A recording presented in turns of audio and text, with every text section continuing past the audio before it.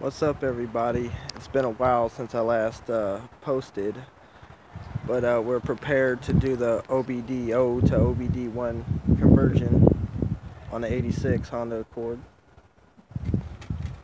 with the F22 Honda distributor distributor adapter plate. We got the P06 Demon 2 Neptune RTP eBay jumper harness repinned and our Innovate wideband MTX-L.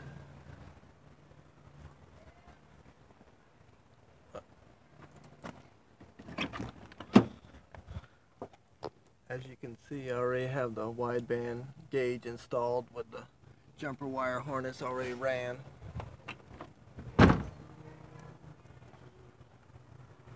That's three wire shielded for the Dizzy wideband wire.